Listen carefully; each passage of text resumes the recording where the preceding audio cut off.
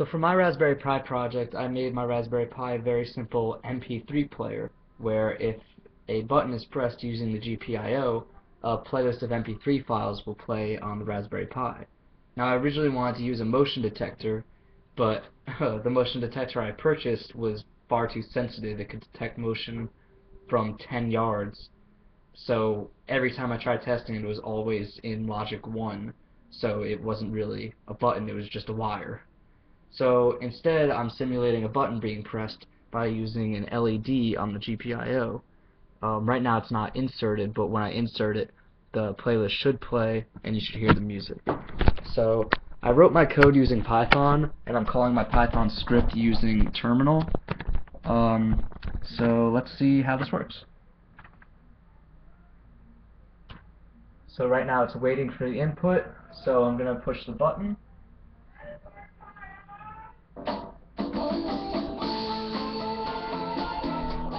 And as you can see, the music is playing. You can see right by the two, there's two uh, songs in the library.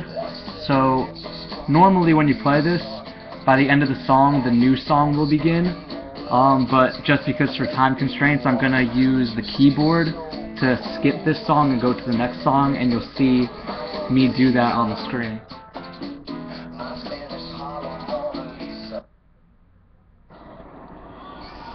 See, now the second song is just played, and now it's in the first song position.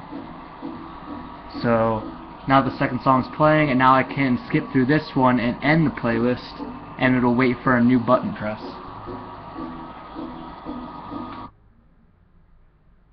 So, it's waiting for the next button press, and I can do that right now to show you one more time.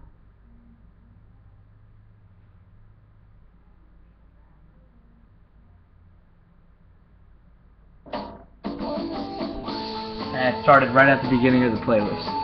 So that's my Raspberry Pi extra credit product for CPEG 202. Thank you.